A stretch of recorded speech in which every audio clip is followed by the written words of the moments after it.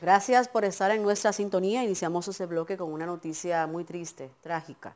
Un adolescente de 12 años resultó muerto y su hermano de 13 con golpes. Esto tras una vecina atropellarlos cuando intentaba parquear su vehículo. Momentos en que jugaban en la acera de la calle 8 del sector Villa Verde en Santiago. Una información muy triste que nos reporta nuestra corresponsal en esa ciudad, Jenny Acevedo. Adelante. Gracias, buenas tardes. El adolescente fallecido es Gabriel de Jesús Gómez, quien quedó debajo del vehículo muriendo en el lugar de los hechos.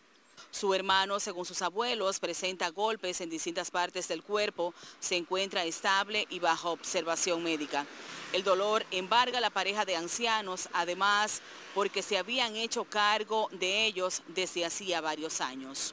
Eh, él antes de morir, la mamá llegó al lugar del accidente todavía estaba vivo y le dijo, mami, me duele el pecho, saque a, a que Rainier estaba debajo de la guagua. Eh, ahí mismo murió. Pero Rainier quedó en el centro de la guagua, debajo de la guagua. Está hospitalizado. Lamentablemente, él, ella le cortó la pierna cuando le dio el golpe tan grande. Y me le pasó la goma por el pecho porque estaba sentado, acostado en la calzada. Está fuera de peligro, lo tenían en observación. La mamá fue a ver si se lo entregaban porque ella dice que no quiere enterrarlo sin que él lo vea. Porque estaban juntos en el momento del hecho. Eran muy unidos, sí. Ay, sí.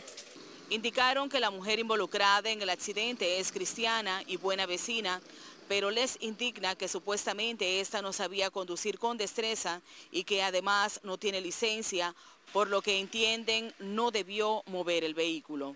Tras el incidente, esta fue detenida. Me dicen los vecinos que ella no sabe manejar y que ella yo creo que ni licencia tiene, dicen ellos. Pues si ella no sabe manejar, que busque con un guía en la mano. No, está procesada, la están procesando ya, se entregó de una vez, porque como ella sabe que fue un accidente, ya no va a salir corriendo. El menor es velado en el sector El Paraíso, en la residencia de sus abuelos. Es toda la información que tenemos. Retornamos.